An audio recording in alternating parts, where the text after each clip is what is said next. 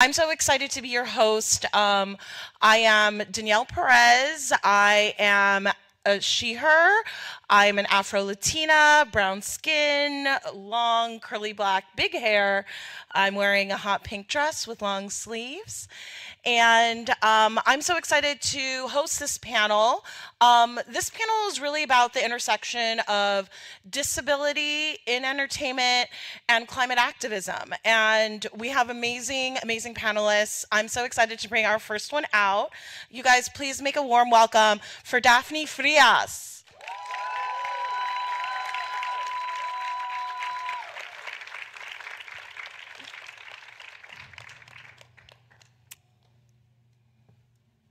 Hey, Daphne. Hey, how are you? I'm great. How are you?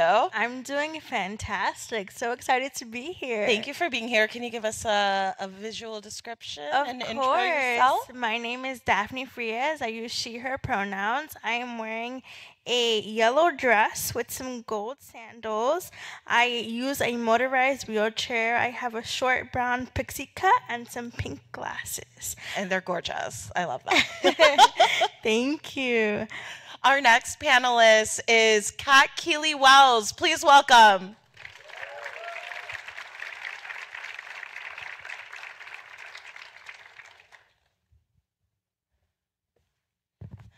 Hi, Kat. Thank you for being here. Thank you. Thank you. So pleased to be here. Can you give us a visual description and your pronouns, please? Yeah, absolutely. Hi, my name is Keely, and my pronouns are she, her. I am a white woman with longish blonde hair. I am wearing a black skirt suit, and I am in my mid to late 20s. Ooh, look, she's brave. She's giving us her an age description as well. Uh, for those asking, um, millennial masquerading as Gen Z for me. Uh,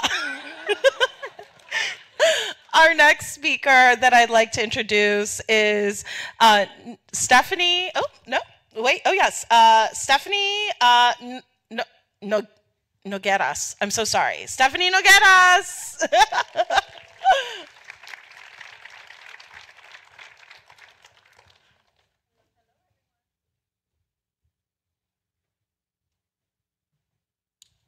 Hi, Stephanie. So great to have you today. Can you give us a visual description and your pronouns, please? One moment for the mic. Hello, everyone. Sure, I can definitely do that. I'm wearing a green uh, blazer with a necklace of a moon, represents my daughter named Luna. Uh, I have a beach wavy kind of uh, pantsuit on. I'm a Latin female. My pronouns are she and her. Wonderful. So wonderful to have you here. Thank you. Thank you so much. Our next panelist is David Radcliff.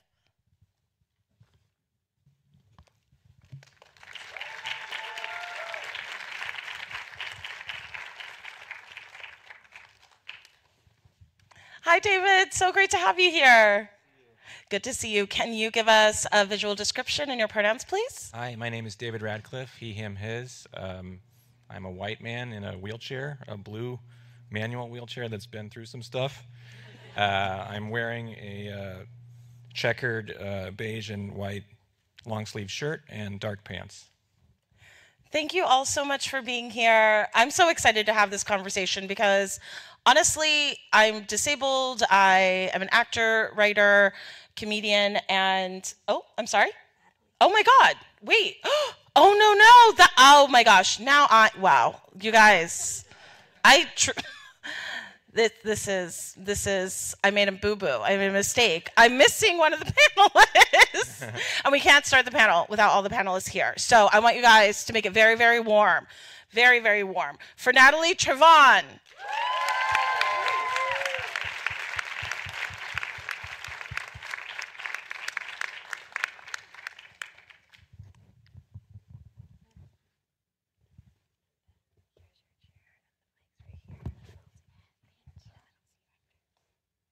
Natalie, thank you so much for being here. Last but not least, in the middle, the prime location. Um, can you please give us a visual description and your pronouns? Yes, thank you so much. So my pronouns are she and her, and I'm an African American woman with brown skin and blue gray eyes, and uh, mid length dark hair. I have on a two piece vest suit, which is actually my own design. Thank you. Um, and yeah, I'm so excited to be here.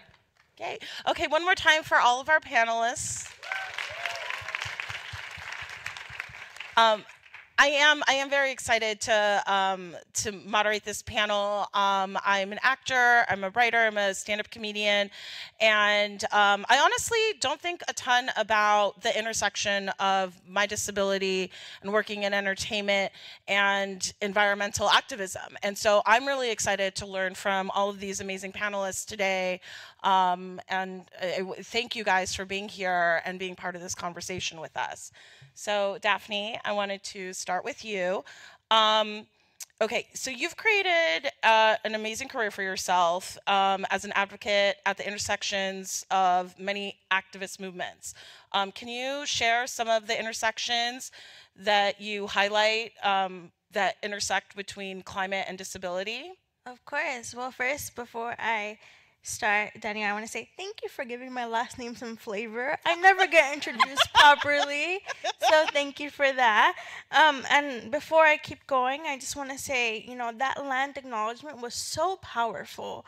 I think that as a climate activist, I cannot do this work without the protection, dedication, and ferocity of our indigenous communities. They continue to protect us when we have not protected them. And I think that that is critical to remember. And in the climate movement, right now we're seeing a spark of Gen Z activism, which I'm so honored to be a part of. But we didn't originate this work, and we will not be the ones to end this work. And we stand on the shoulders of these indigenous communities in order to be able to do this amazing work that we do as a community. So, thank you. To answer your question, um, I began my activism journey about six years ago, shortly after the tragedy in Parkland. Uh, I began working in the gun violence prevention movement simply because I didn't see stories like mine being told. I uh, am born and raised in West Harlem in New York City, a beautiful, vibrant community of mostly immigrants. And growing up, I experienced fluctuations of gun violence my whole life. But as I was growing up and going into college, I quickly realized that although we were experiencing gun violence at a disproportionate levels, our stories weren't making the news. And your socioeconomic status and your zip code doesn't determine your quality of life or if your story should be told. And I knew that I needed to change that. And as a disabled Latina, I knew that coming from communities of color, it is taboo to see disability as something to be proud of. And I wanted to change that. So, working on the intersections of gun violence, disability justice, and the climate crisis, people are like, what do all those things have to do with each other? They're radically different movements. And I say, actually, they're not. Girl, speak on it. Tell us. So, I am currently getting my MD MPH. I'm in the third year of med school, and I have six months left of my master's. Thank you. So, what I like to tell everyone is that advocacy is public health. To be a doctor is to be the fiercest advocate that you can be for your patient. If I am not going into rooms with my future patients and understanding all of who they are, their cultural and socioeconomic backgrounds, I am not seeing them and I will not be able to treat them properly. So, to be an activist is to already be the best future medical professional I can be. And to be a doctor is to understand how the quality of our earth is going to impact the quality of our livelihoods and our physical bodies. I'm also coming to you here uh, three months after beating stage four Hodgkin's lymphoma. Thank you.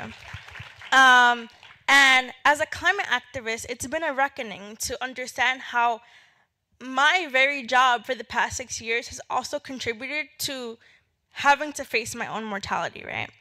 And this year long journey of contemplating these issues have helped me to realize one thing The power of your voice is indispensable. For the last nine months, when I couldn't use my voice and I couldn't use my physical body to show up for my community, I had to reevaluate how I showed up, right? So much of how I defined myself was by being the loudest person in the room. But when I couldn't be loud, how was I still able to make noise? So I had to ask myself, is my community ready to lift me up? And they absolutely were. They were there every step and every turn of the way. And I think that this is what we can learn from the disability community. We are innately resilient. We are innately loving and proud of how our bodies show up in this world. And we need our narratives in Hollywood to show that. We need to inject joy into climate advocacy, inject joy into disability justice, because joy is the only way forward. And I hope that when you leave this panel today, you remember that, that the narratives around climate can often perpetuate climate doomism, and our media loves to sensationalize the realities of the climate crisis. Yes, they are dire, but there's also hope. And once we lose sight of hope, we are in a dangerous situation. So please hold on to that hope. Please hold on to that joy because it'll take us so far. Thank you. Thank you so much, Daphne. Oh my gosh. Thank you so much for sharing uh, just the journey that you've been on and the call to joy. I love that. Um, I know that uh, the ladies that put together this summit also emphasize joy. And I, you know, I no spoilers, but and just like that is out. And there is, um, you know, Miranda. She's always trying her best, and they depict some environmental activists, and it's it's we're not bummers. Uh, we want the world to be better, and um, and we can do that joyfully. We can do that having fun, and and thank you for just reinforcing that message. Um, David, uh, the next question is for you. Um, you said that um, the COVID pandemic was almost a rehearsal for the climate crisis. Can you expand on that? I can, but I don't want to be the bummer in the in the group Yeah, after after after all that joy. We're Um, on both sides, you know. it, it, it, it is. It's a complicated issue. I think, you know, um, so I'll speak from my own experience. I have cerebral palsy. And initially, um, when we were first hearing about COVID and learning about it, a friend of mine who is an epidemiologist who is deaf um, shared with me information so that she said, I don't want to see you get uh, like trampled at a, at a supermarket trying to get all your uh, groceries together, but here are some things you're going to need. So I went and bought all this rice like everybody else. Uh, but um, but I tried sharing information with my family and some of my family members who are um, apolitical, I suppose, although I think it's difficult to be that now, um, didn't take my uh, thoughts as seriously as I had hoped. And what that sort of indicated to me was even if you share with someone, I have a disability and you've known me all my life and you love me, and this potential uh, uh, pandemic is a particular threat to folks like me and folks on this panel. Um, and then you get sort of an indifferent response, or they think your uh, reaction is, is too extreme, too political, whatever. Uh, that is a bit of a bummer. And so it makes me think about where our climate future is leading, because if disabled people are so easily left behind and written off, even by some of our own family members and loved ones um, during this rehearsal process of COVID, then one can imagine uh, where the extremities of climate change might take us. And so, at the time when when um, when COVID began, I also didn't have a car, and um, now I do. And so, but during that time, I was using a lot of public transportation. And in a, in the event of an emergency, um, you know, you want to make sure that things are, are are there to help you. And oftentimes, in my role at the Guild, I'm the co-chair of the Disabled Writers Committee. And we talk about how huge the disability demographic is and how it's so massively underrepresented on screen and behind the scenes. And sometimes the response you get is, if this community is so huge, why don't we see more of more disabled folks in, in real life? And sometimes my, I mean, it's, it's very systemic, right? Like we don't, we don't usually have panels like this. This is what diversity looks like for real. Um, but, but there are also economic realities. So when I was using public transportation, there were a lot of disabled people using the subway, So sometimes we are literally underground because we cannot, because we don't have the economic resources to be above ground with the rest of you. Um, and so these kind of realities hit me from all directions during COVID, and it makes me think things might not be so great. But I'm trying to hold on to joy and take Daphne's advice. Um, so I'd love to hear more about that. I need some tips, guys. um, uh, for everyone, I guess, um, how how do we make sure that disabled people are part of the conversation um, in preparing for the climate crisis? Does I anyone can- want to jump in I on that? I can take one? this one. Yeah, Natalie. So um, I work for a consulting agency called Lavant Consulting Inc., and we do a, lo- a lot of disability inclusion consulting. And one of our biggest things is accessibility. And I think a big part of making sure the disability community is incorporated into the conversation is making sure that the information is accessible. And so what I mean by that is are things do things have cart captioning? Are there asl interpreting for videos? Or is there audio description on videos on information about climate change? Or when we're thinking about websites do the websites have alt text for images? Are the buttons and links labeled on the website? Can you go through it independently with a screen reader if you're blind and low vision? And unfortunately the answer is usually no and so it's how do we bring people with disabilities into the conversation from the beginning? Like when we're preparing for these things, when we're building these things, to say, hey, what are the things that we need to do to make sure this is access accessible for everyone? And the simple answer is hire disabled people, experts from the disabled community, and don't just ask them for their expertise for the free, because a lot of times we get that. it's like pay disabled people for their um, experience and expertise, but making sure that you start with them. A lot of times people like to speak on our behalf, and it's hard to say what someone else needs when you don't have that actual lived experience. And so I really want to congratulate um, the uh, producers of this event for making sure we were part of the conversation from the beginning to the end. That is so thoughtful, and thank you.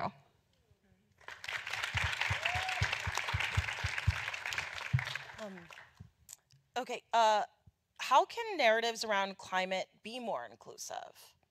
I'd love to jump in on this one. Yes.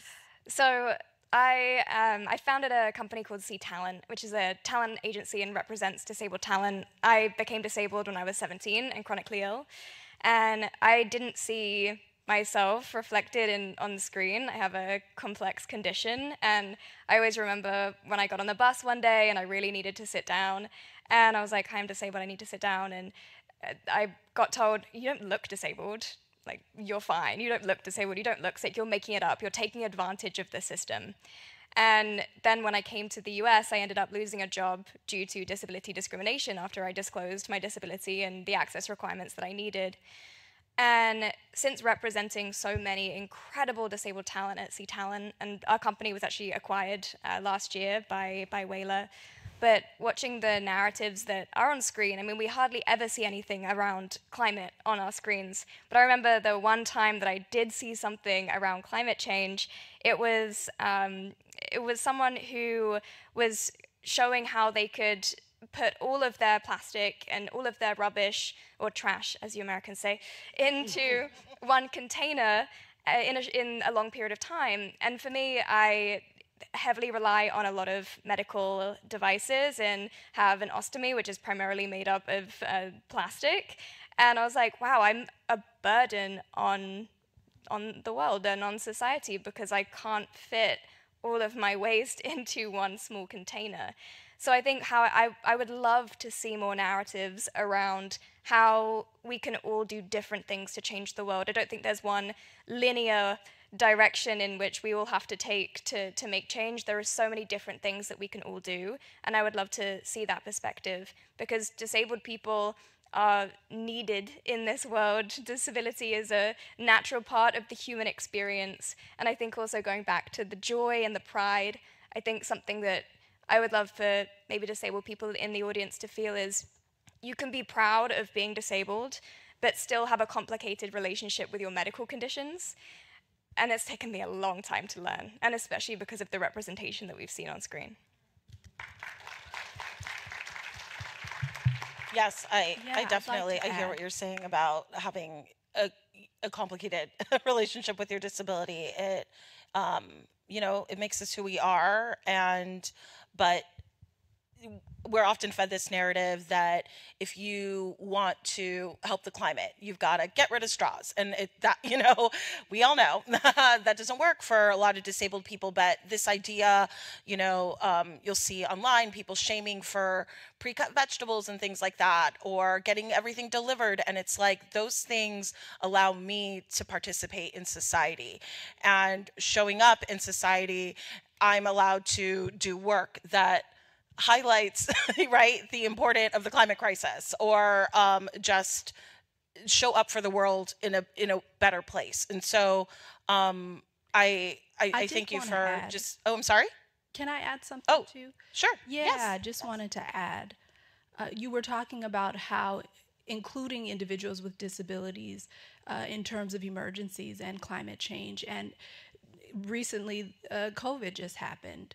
Uh, at the very beginning, I think it was around March. Uh, we've all lost track of time at this point, but uh, with the the pandemic had just started, and I remember I was driving. I was teaching a session. I was driving home, and I had looked out and I saw an extremely long line at a grocery store, and I I felt I had an intuitive thought that something is not right. So I pulled over, I looked at my phone, and I was able to see a news story about this national emergency going on. And I felt so out of it because I was the last individual to actually know what was going on. And that's typically the case when it comes to the deaf community.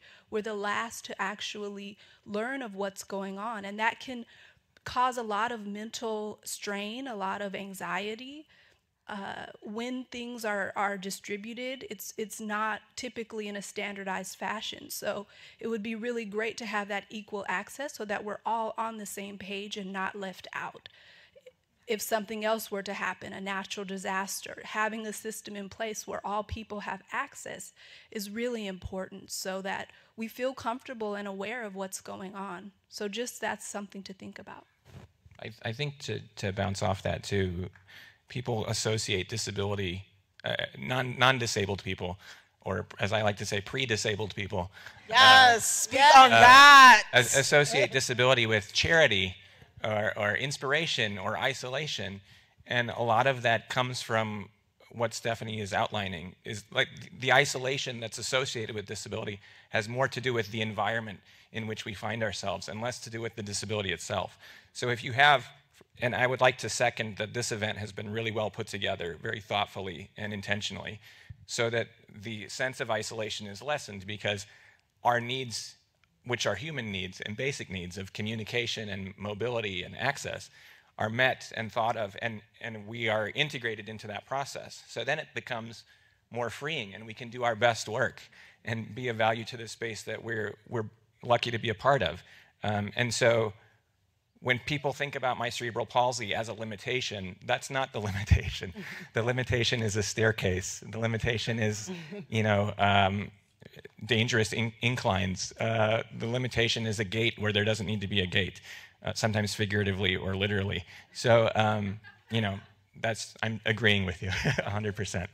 Yeah, and I just want to add that everyone has access needs, right? Like, I think we think of accommodations for people with disabilities as something that's super expensive or extra, but everyone has an access need. Like, if you just think of the example of if I couldn't drink regular milk, right, and I asked for almond milk, you just accommodate me, right? But is it a big deal?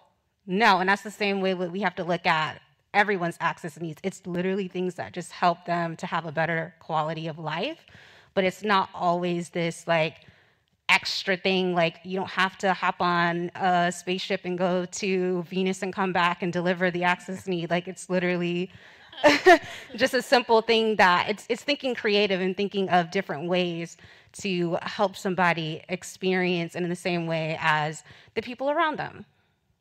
Daphne Yeah, I just want to jump in and echo um, what all the other panelists have been saying. I, you know, two weeks ago, New York City, where I'm from, had the worst air quality in the world, right? I woke up and it looked like Mars outside. And last time I checked, I'm not Elon Musk, so I'm not on Mars. so, not, and I don't want to be either. So, um, just want to clarify that. And um, it was, I was hit with the pang of climate anxiety. The whole day, I was tossing and turning for two reasons. One, because our earth was hurting. I could physically feel the pain and the density that our planet was struggling to breathe. But also, I was bombarded with uh, DMs across my social media from people being like, I followed you for years, but I didn't really believe in the climate crisis, and now it looks like Mars outside, so what am I supposed to do? And They did they know who they were following? Right. I was like, so have you actually been following or were you just creeping? They had you on mute, girl. Exactly. and I mean like I got a lot of things to say, so that was pretty offensive. Um so, you know, one, it's not it's not the disability or any minorities community to educate people. We already have to expend our trauma enough to just be listened to. So I ignored most of those messages because the internet is free. Um, but as a climate activist and as a future doctor, my nature is to want to help people. So I did answer some of these messages, and it was, you know, I have to be honest, I'm a little bit petty. So it was hard not to be like, I told you so. It's kind of late. but, you know, I put that in my back pocket and I was like, let me just calm myself down a little bit. And I answered some of these messages and I was like, well, this is the reality of the climate crisis.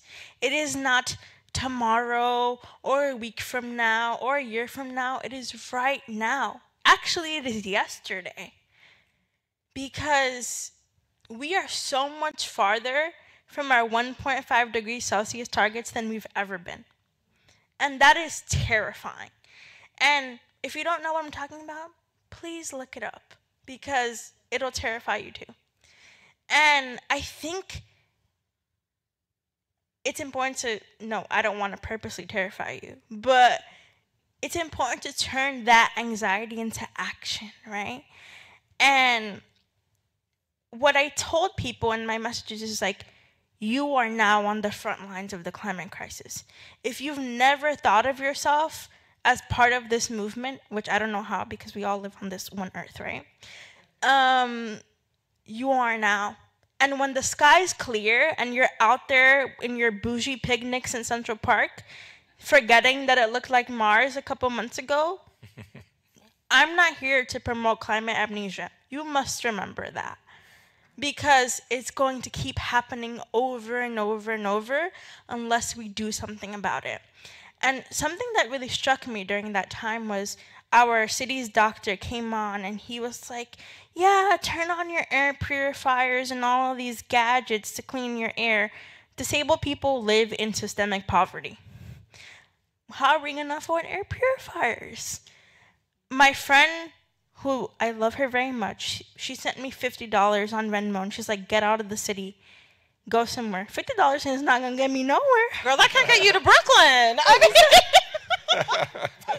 but it was the thought of the fact that she thought I could just get up and go, right? I don't have that ability as a disabled woman. I live in a city and I live in a system that does not want me to thrive or seek safety. So this is the reality and I, we need to have stories like this in our media.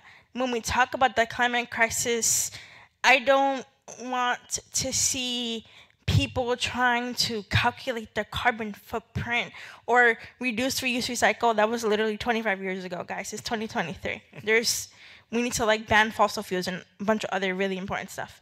Um, i want to see people struggling to grapple with the realities of the climate crisis because we need to be moved by human stories in order to make action happen. And I think it, you might be like, well, that's the antithesis of joy. And it actually isn't because when we see humanity and when we see ourselves in stories, it sparks that joy and it helps us move forward. And unless our narratives are showing that in media and all of our streaming platforms and movies, we're not going to get there. Yeah. I did want to also add just one thing.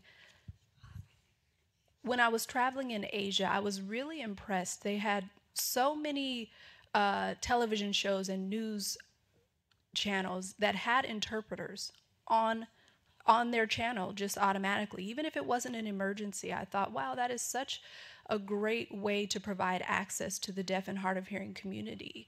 Uh, and it's great for parents as well who have hearing children to be able to see what their children are accessing in terms of television or news and that that information is freely shared and it's not something that's pushed aside it's a great way that families can feel protected and, and fully informed.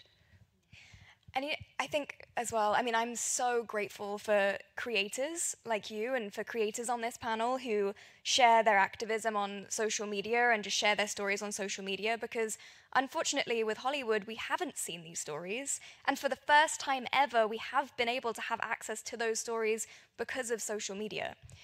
Social media still comes with its issues, don't get me wrong, including ableist algorithms, but that's for a whole nother panel. But it is amazing to finally see creators have been disrupting the narrative because we haven't had access to Hollywood. And I hope and I think we are getting to a point where we are now seeing these stories translated to, on the big screens in an accessible format. And I also want to see stories that aren't just about people being affected by climate change, but who are affecting climate change, people who are taking the issues into their own hands, like the people we were just talking about who after Hurricane Sandy, they, they took on the city of New York and made, made sure that there were policies that protected disabled people and were able to get, get access to accessible shelters. I want to see those stories. I think um, um, well, first of all, I do too, for sure. Um, and the challenge, I think, becomes that people think, as they often do with the environment and climate change, that disability, just the the representation of disability, just the existence of disability on TV or in a TV episode, is political in and of itself, is activism in and of itself, is different enough. And so the, the notes that you sometimes get if you try to introduce a disabled character or a disabled story is still very much like the 1990s, like very special episode um, idea of, you know, well, if we have a disabled character in this, or if we address climate change in this particular thing, then that's what the episode becomes about, right? Which is ridiculous because, because so many of us just live our lives, you know, like anyone else. You're going to Starbucks because you want a cup of, well, I'm not promoting Starbucks necessarily. you're going to a coffee shop because you want a cup of coffee, not because you're a disabled person who wants a cup of coffee. But within the framework of television, if we have to answer the question, why is that disabled person there? How do they feel about their disability? What, if, you know, what, what is their trauma that we can explore? And that is really boring. And I think if we start to steer disability and climate change both together or independently as just a feature of a story rather than the story itself, then we have come a long way. But um, the, you know, we're still in baby steps mode on some of that stuff. Totally agree with that. Yeah, I agree with that as well. I think people think that you know disability is just part like that's our own that's our personality. I'm just blind. So when I get like character breakdowns for like if somebody asks me to come out on audition, that's literally the breakdown blind woman. So, okay, like, what about this blind woman? Like, I think people forget that, like, we're these complex, beautiful creatures with all different types of identities, right? I'm not just a blind woman, I'm also an African American woman. I'm a sister. Some of us are mothers. Some of us are lovers. Like I can still put on a piece of lingerie and feel sexy and go out on a date and do all these different things. Like I don't have to just be sitting in my house feeling sorry for myself.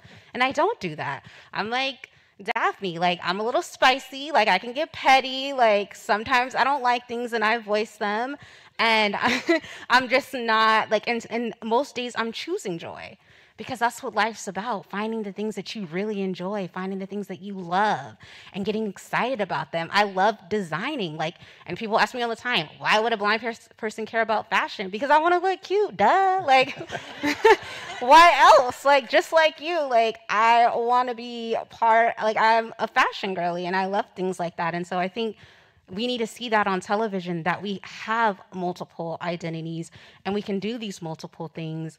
And I think once we start there, then we'll start to see more characters like Daphne. I want to see a character like Daphne who cares about the climate. And that's really funny. Like that to me is something worth watching than our usual same, you know, kind of storylines that we get. And so I'm hoping that's where Hollywood is moving towards. David, after the writers get what they want, we're pitching Daphne. Absolutely. um, thank you so much for for sharing that. I had an audition recently, um, woman in wheelchair, glamorous role, uh, in the rain.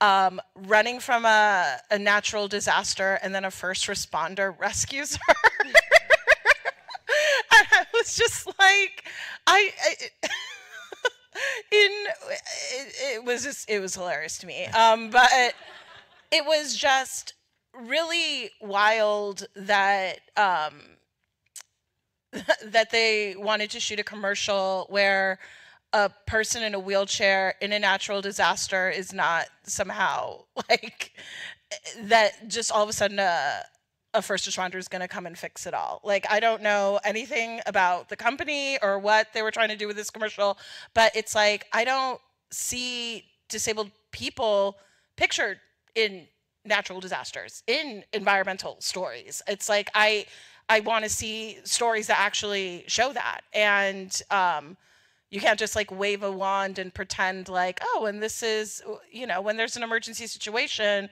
there's a fire, don't use the elevator. I don't, I, a lot of people ask me, they're like, what happens? I'm like, I don't know. I guess we'll find out when there's a fire. Uh, but um, a, a big misconception is that accessibility is financially just too much. It's a burden. We can't do this. Um, and so I really wanted to speak to all of you um, how I mean, it's a huge misconception, but how, um, for the dummies who run the industry, how do we explain to them that um, making sets accessible and sustainable is a net savings? I, I, just want to quickly uh, add to this and pitch that um, I try to remind people that it's actually um, beneficial to, to, have ramps around because crews use ramps. yes. So, um, I mean, it, I, I, have a, a, friend, Caitlin Young, who um, runs a company called Alpha Studios, and she uses a big motorized chair. She works in post production. She does amazing work. You should check her out. Um, and so they need ramps for her around the sets. And what they found was that this, and Kate, Caitlin can, can fact check me, or, or you can check the videos out with her, is that they ended up saving two hours of time on, on a given shoot day when they set the ramps up. So I don't even like using the word accommodation because it because that puts the mm-hmm. disabled person in the in the feeling as we so often do that like we are a, a, a special need, we have special needs. These aren't special needs. These are just this is just baseline stuff. Do I want to be able to communicate with my peers? Yes. Do I want to be able to get in and out of a building? Yes. And so do all of you. So it's not special, it's just a need. And so a lot of times what people find is that when, once those things are thought of in advance, and hopefully not retroactively, once, once you build it, uh, we, we will come. And, and, and we will do good work and maybe save you time and energy um, and create a more interesting product. I'd love to add just a, a, quick tip onto that. I completely agree. I think accommodations is a frustrating term. And if you, uh, I, when you're starting a meeting, when you're sending out an email and to organize an event, if you can just ask everyone, don't assume, ask everyone, do you have any access requirements? It will change the game for so many people. Yeah, I just want to jump in and say that to David's point, accessibility benefits everyone. Yeah. Accessibility isn't only for disabled people. How many people took the elevator to get here to this theater right now? That's an access requirement, right? Um, and this reminds me of a story. I when I was younger, I used to do I, I used to act, and one of the times I was on set, you know, you gotta hit crafties in between in between shots, and I was I went to craft services, and it was on this massively high bar table. How am I supposed to get food between shoots and between scenes and nourish myself? And you know, immediately like five or six PAs went over like, "How can we help you?" And I was like, I really just like don't want help. I want to be able to get it myself. Because like what if I want one of everything on the table? I'm going to have you stand there for 10 minutes picking every single flavor of cheese because I deserve all the cheese? No, I want to be able to access it myself. Um I also think that, s- such as we have implemented intimacy coordinators, we need access coordinators on set. Um, like um, we mentioned on this panel, nothing about us without us. Don't assume our access needs. Don't assume how to be disability positive. Hire us to do it because we are the experts.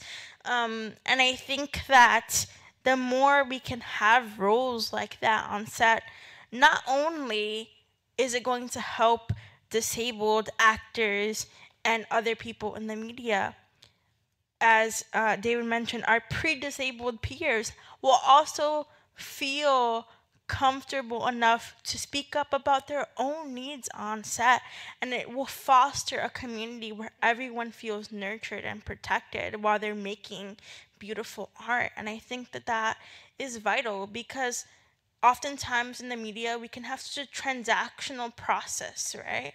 Where you go in you film something and then it's like okay on to the next audition and you're striving and you're you're struggling and you're you're, you're struggling and you're hustling but really fostering those um, those bonds of community are what are vital Yeah, and I would say that access needs a lot of times just takes creativity, right?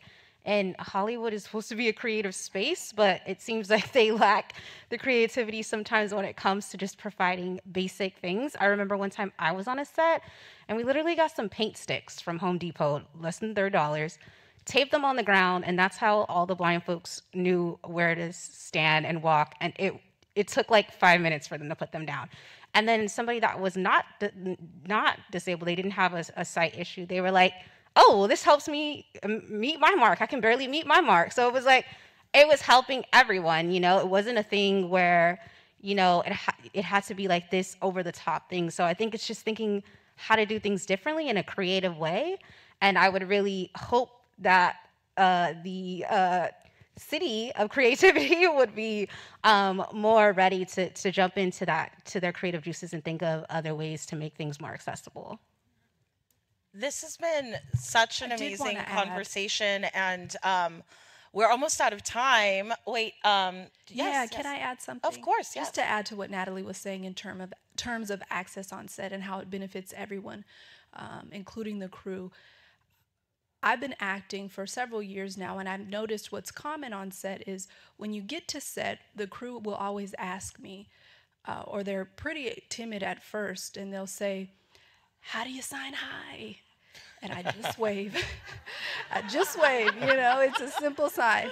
And they, they're relieved right away. But really just relaxing and understanding that initial fear that can start a conversation and really break the ice just wave hi or bye.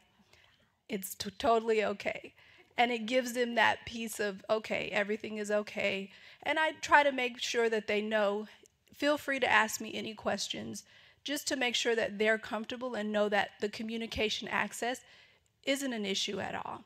But typically, that first day is where people are a little bit awkward in the beginning, but it just want to make it easy on that person and make sure that there's an open line of communication where they know they can ask. So it's nice that first day, those jitters that typically people have. After you're shooting for a couple of days, things lighten up. But and they'll ask more about, hey, what's the sign for this or what's the sign for that, mm-hmm. or ask, is it is ASL international uh, or or things like that. But again, it's really nice to have that access and teach a little bit of sign langu- language when you're on set, especially if the interpreter is not uh, right at, at accessible. And a lot of the crew actually knows this sign, which is the sign for rolling. Oh. And it's funny, as soon as they know it, they all start doing it at the same time. So it's like, no, we only need it from about one person. But, yeah. Uh, so they'll learn rolling, they know the sign for cut. So, but it's really great that that uh, the crew on set is eager to learn some of the sign. But again, having just one person sign it is enough. But it is nice to have that access for, for everyone on set. And I think it's important to know that um, things are gonna you're gonna get things wrong, um, and and so are each of us because not you know I only have my disability, so I certainly learn from conversations like this. And recently, you know, I, I won't say exactly what event, but um, we, we, were trying to put together some uh, um, accommodations, trying to advocate for accommodations of, of, a wide variety of things. And at the, at the end of the event, I came back and, and let some of the organizers know that the accommodations weren't totally up to snuff. Uh, and the response was essentially, well, we tried, you know, like, yes, I saw that. Like, I understand that. That's wonderful. That effort should be made. But I want to emphasize that the response to hey, hey, we could use a little bit more, the, the unhelpful response is we tried, because that makes us feel like, as we so often do already, that we are some kind of burden, when we really just want to be as involved and as contributory and as enthusiastic about the thing that you just enjoyed with, with the benefit of your sight and hearing and ability to walk, um, which is all temporary, by the way. so, so let us help, you, help, help us help you help us.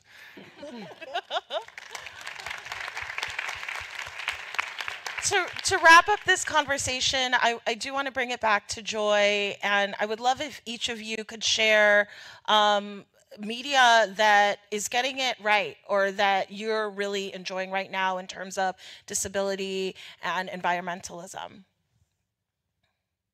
Um, I can jump in. It's not specifically about the climate crisis, but yesterday we had an amazing keynote that featured Quinta Brunson, and I want to um, highlight what she did in her uh, season two opener episode of Abbott Elementary, there was uh, there were two students with disabilities in that episode.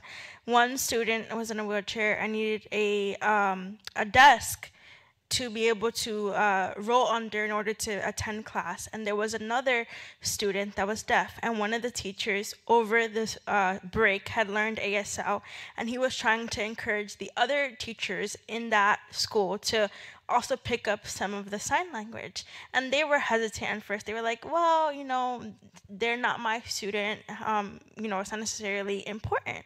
And over the course of the episode, you see this teacher being able to communicate with this student and how much it made them feel safe in this school. And then uh, for the student with the physical disability, at the at the end, after trying every single resource, they were finally able to get an accessible desk. And it was the first time that I was able to see a story that actually represented the struggles I faced as a student and I spent the episode laughing and crying. And I ran to my mom at the end and I was like, Mom, we have to stream this episode because she was busy cooking. And she was like, I don't have time to watch TV. And uh, I was like, No, Mom, it's really, really important that we sit down and watch this episode. So I watched the episode back with her. And she was like, You know what's really powerful about that episode for me? that the teachers took initiative to help their students because so many of our caregivers have to carry the burden of advocating for us in spaces where we're not welcome. And I think Quinta and her team did such an excellent job of capturing all the nuances that come with disability. And across social media, I immediately went on social media and looked up all the comments on this episode. And so many of our peers and siblings in the disabled community felt the same way that I did. And the only thing that made me sad is that most of us had waited 20 plus years to finally see someone like us, folks like us on the screen, representing a storyline that included us. Um, I also think it's important to remember that when we talk about disability and climate, it is an ongoing process as the climate crisis continues to intensify. We must not let communities be left behind. Um, you know, just a couple days ago, there I was telling um, Keely that there was a hailstorm in Colorado that dropped golf-sized pieces of hail for like the span of 10 minutes and there was some flash flooding and it was over an amphitheater and over 70 people got injured including about 10 people with physical disabilities right? And all of the people with disabilities at the event were more injured than able-bodied folks because the ambulances that were available to them could not accommodate their physical access needs in order to get them to the hospital. And it was incredibly disheartening to me because again we are a community on the front lines but we are often relegated to the sidelines. And I don't want to be on the sidelines anymore. I mean, I don't think I have a sideline personality. You do not have sideline energy, girl. Front and center. So, I mean, I want to just be rolling and living with joy. I mean, I put my neon green uh, wheelchair sides here for you guys to give you some good energy. I want I want that energy to be seen and heard and shown. Um, and I think it's also important to highlight where things are being done well. Um, because I think a lot on this panel we talked about all the things that need to change, but there's also so many good things that are happening. Um, and I think the thing that I really just want to leave you all with is that we, this is the most diverse panel I've ever been on in terms of disability and other identities, right? And I don't want that to be the case anymore. I, you know, there's this saying where it's like, we want a seat at the table. And I was like, no. I mean, I already have my own seat. So I already got the seat, right? That's great. But I don't want seats at the table anymore. I want auditoriums. I want stadiums. I want arenas. I want the biggest things and the biggest rooms we can imagine full of us. Um, and I also want every one of you here to become uncomfortable because at the when we are uncomfortable is when change happens. And I want you all to get used to not seeing yourselves in in rooms all the time. And this mostly for our white peers, to be honest. Because I want to be able to come into rooms and be in spaces where people look like me and come full of identities that I identify with. And oftentimes that might mean that the people who are on the front lines now don't get to be on the front lines anymore. And I'm like, that's okay because you've been taking up all the space anyway. It's time for you to relax a little bit. Um, so be uncomfortable. Open up your open up your range of where you're willing to step into because once you step into that area of discomfort, yeah, it might not be fun, in the beginning, but I promise you'll find some amazing things along the way.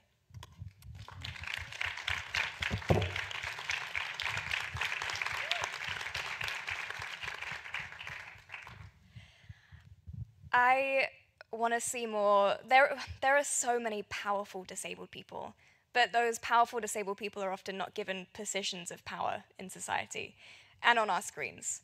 I want to see powerful disabled people highlighted, having platforms in stadiums, on our screens, and I want to see disabled people both in front and behind the camera. That's where we're going to get the, the diverse stories and the authentic stories. And I want to see disabled people not necessarily just working on films or TV shows or storylines that just revolve around disability, in all stories. Um, in terms of representation and what is good and what I'm watching, I mean, I always now gravitate towards the social media creators because I feel like they're the only ones right now that are really on top of it, and um, and they're truly disrupting the narrative. So I'm just I'm following some amazing disabled creators on social media. Shout out to Imani. Imani Barbarin, shout out to Crutches and Spice. Yep, absolutely. Yeah, so unfortunately, I haven't seen in media yet some really great representations of blindness, but I, I would agree with Keely that there are some great influencers on social media like Lachi and Katarina, who's the blindest Latina. But I also want to shout out Anna Smith, who put together the first ever all blind runway show in New York City. I got to participate and do runway for the first time, and it was amazing. And she made sure it was accessible. There are paint sticks on the ground. You could walk with your dog or your cane or an escort, and everything was so well executed. And it was an opportunity for the fashion industry to see how different types of models can be elevated. And everyone looked so beautiful, and the designers were so great in working with people who are blind and low vision. And that's what I would love to see more within the entertainment industry across the board.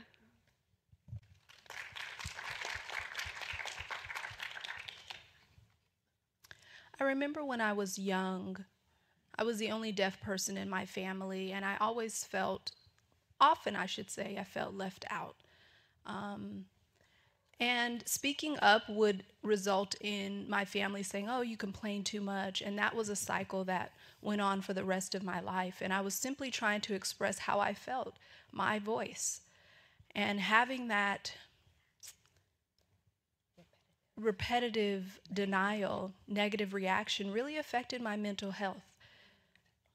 And it's not often that I was able to have that expression of love in my family. And I didn't see that as a, a, role model anywhere that I looked, even outside of my family. I found my joy in nature, feeling the warmth of the sun on my skin, being out in the forest, taking a hike, going to the beach. That's where I found my joy and found my connection I honestly feel more connected to animals than people, I will say. Um, but, you know, I, I felt that I was on the same level with nature as opposed to my family, who was, in essence, pushing me aside because of that communication barrier. And we see that in society as well. People with disabilities, individuals who don't have a disability, shun them or push them to the side. And we typically will express ourselves more often on social media. So I'm noticing that uh, more awareness is being raised.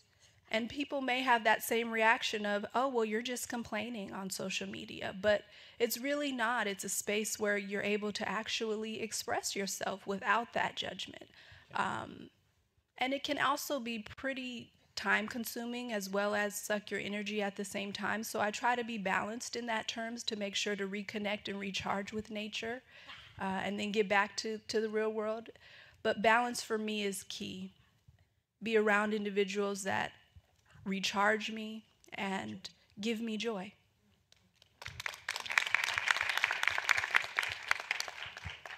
Um, so I, as I mentioned, I'm, I'm in the Writers Guild. There are only 0.6% of Writers Guild members who openly identify as having a disability, um, in part because they know that this bias, some of which we've talked about today, exists. So I've had private conversations with executives who say to me, hey, off the record, I have XYZ condition. Do you think I should disclose it?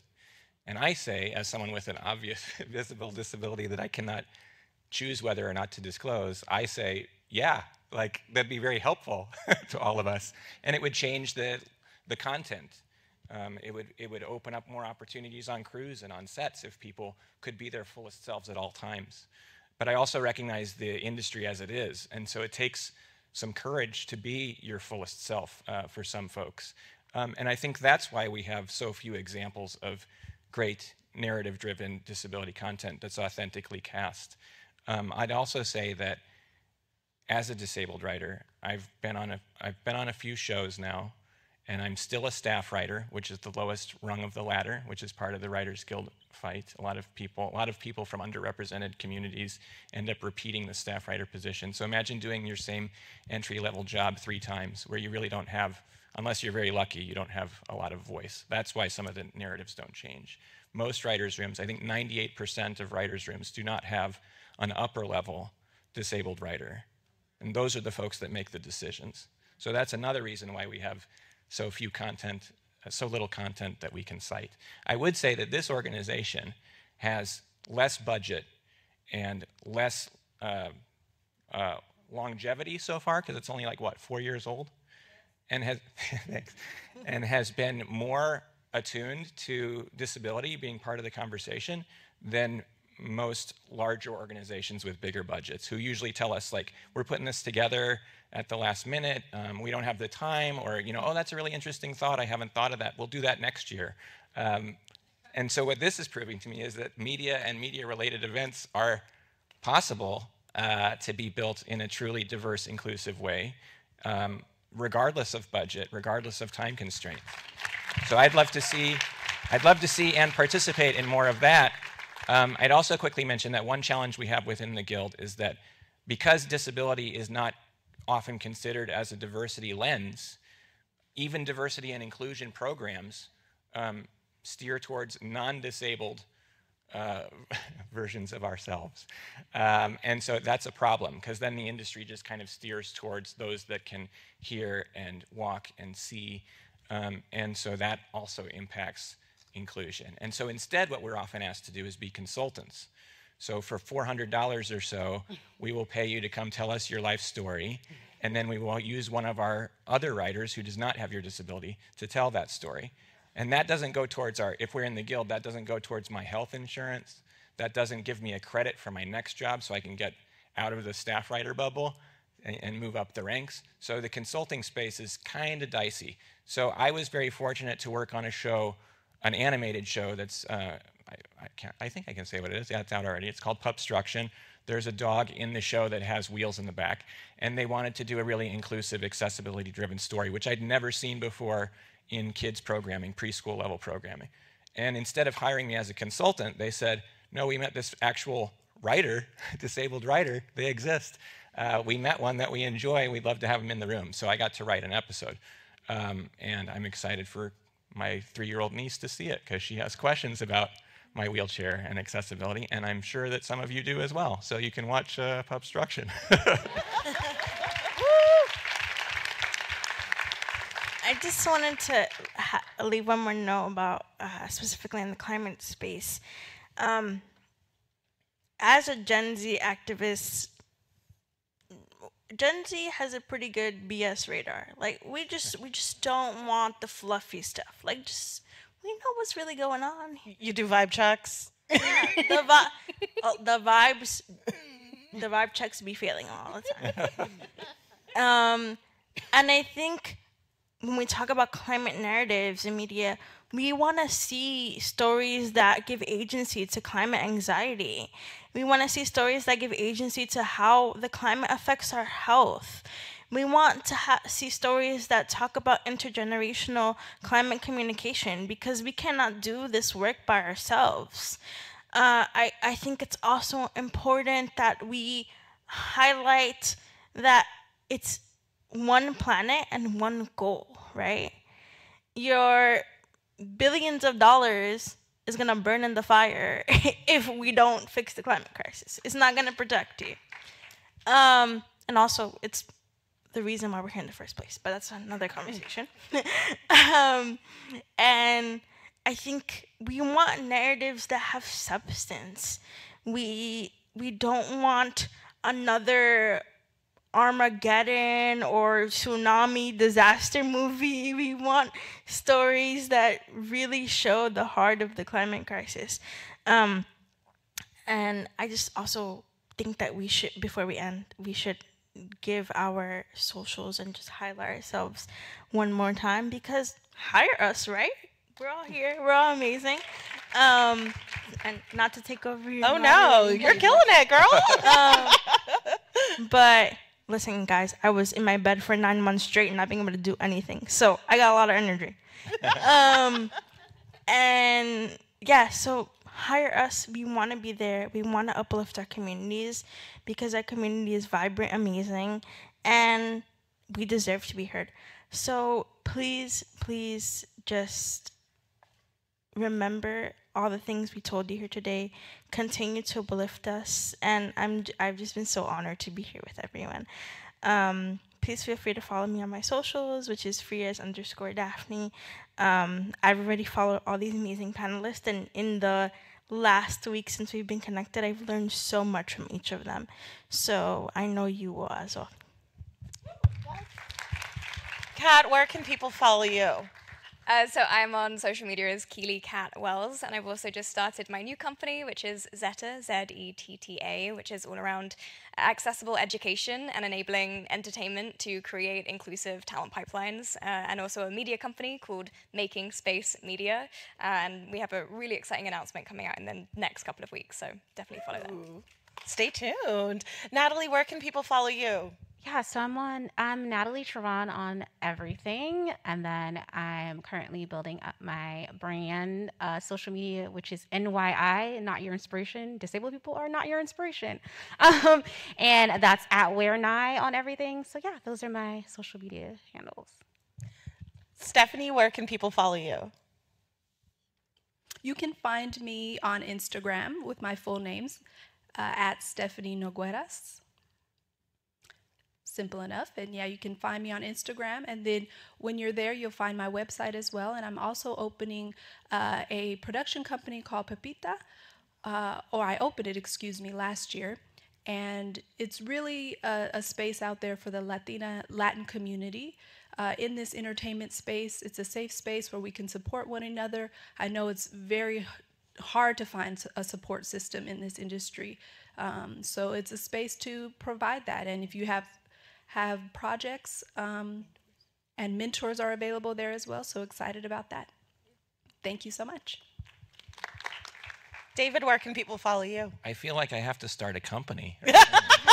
uh, but I'm just I'm just a dude. Uh, I, my, my, I'm on Twitter and Instagram as my name. It's David uh, Radcliff, not Daniel. I, have got I've gotten some tweets that are clearly directed for the other guy. My name's David Radcliff. There's no E on the end of my last name. It's R A D C L I F F.